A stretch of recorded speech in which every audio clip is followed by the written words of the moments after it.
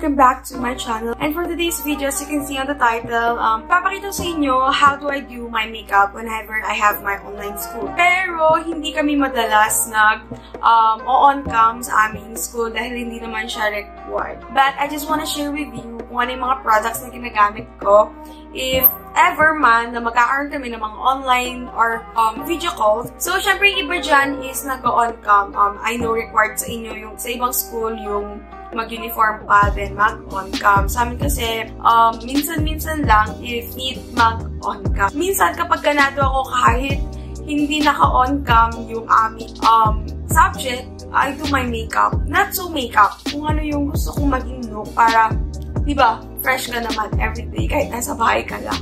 So without further ado, let's get started.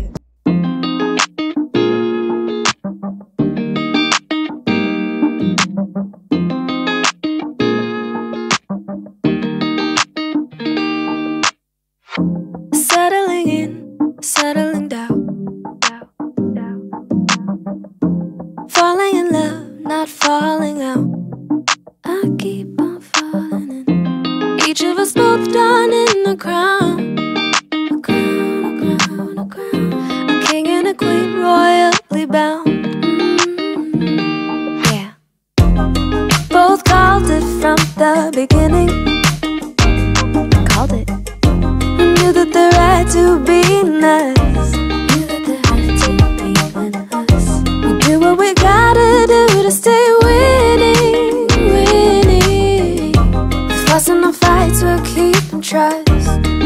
And you wanna say, I love you better today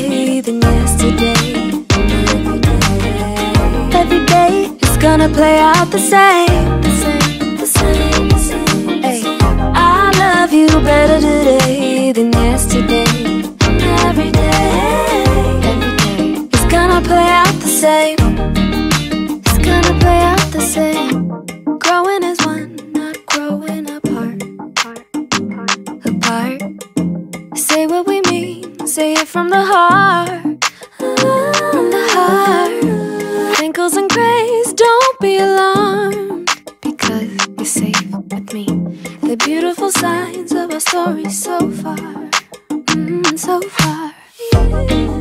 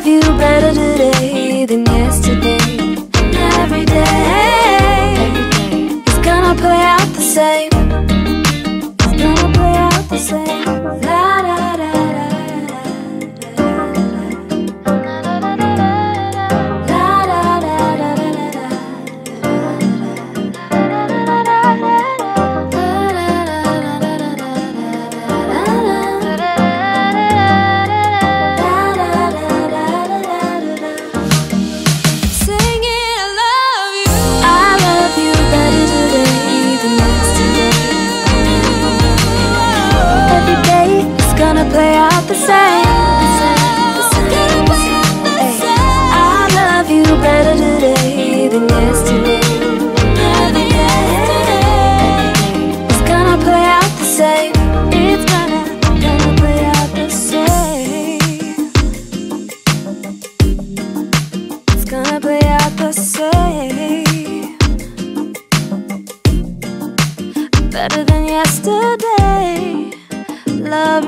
today. It's gonna play out the same. So guys, ayan ang aking um, online school makeup routine. So, hindi pa dyan nagtatapos ang aking routine dahil meron akong secret hair tool na gustong i-share sa inyo na nakuha ko sa Shopee. Hot Air Brush One Step Hair Dryer Styler. So, ayan siya. So, iba sa inyo na nanonood na is um, familiar na sa itsura nito. Siguro nakikita nyo to sa mga advertisement through Facebook, sa mga sa news video sa Facebook, kasi madalas ko itong nakikita. Pero ito is, nakuha ko lang siya sa Shopee. Super affordable lang niya. Um, I know, hindi to aabot ng 500 pesos. Pero matagal ko na siyang nagamit. So, okay naman siya. And super nice niya. Um, ngayon guys, hindi lang basa yung buhok ko. Pero, um, natry ko na to ng wet yung hair ko. Super bilis magpatayo ng buhok. So, ito yung aking secret hair tool. Dahil ako, yung hair ko, minsan nag-fly away. Minsan talaga, ganyan lang siya. Wala siyang volume. Super flat niyang tignan. Sobrang pangit. Lalo na pag nagsiselfie, hindi siya magandang tignan. Kasi, tignan nyo. Super parang nang dry tignan. Tapos, ang boring tignan ng buhok. So, itong hair tool na to, super nakatulong sa akin. Super lifesaver nito.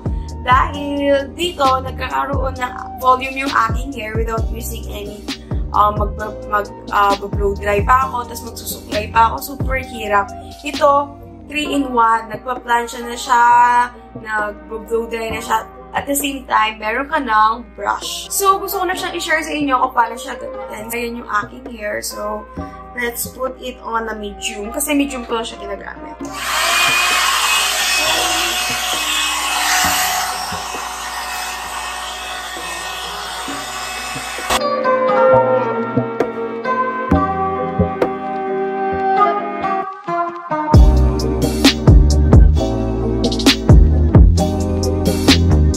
Guys, ayun siya. Compare naman sa kanina, di ba? Walang kakub-kub-kub yung aking hair, walang ka-volume-volume. So hindi ko pa siya masyadong tinagalan yan. Pero ayan yung kanyang resulta. So ito yung kanina.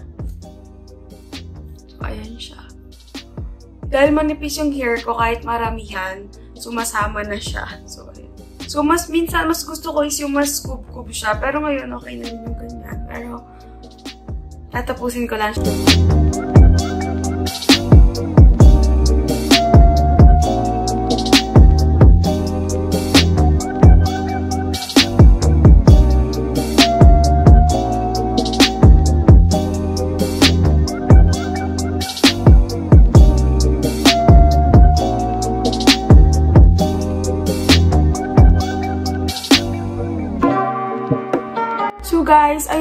Ayan na yung kanyang abrang.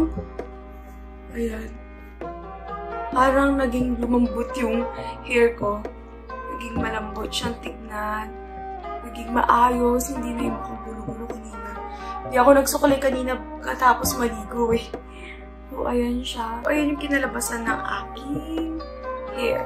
Super nice na to guys. And super affordable. Lalagay ko yung link down the description box kung saan ko siya nakuha na stores para mas trusted siya. Kasi minsan, uh, may mga store na defective siya. So, ito super bilis lang niya ma-ship and napaka, ano, um, responsive nung seller. So, ayan. Ganda nung kinalabasan, diba? Super kapag nagmamadali ka, as in, brush ka lang ng brush ng ganyan.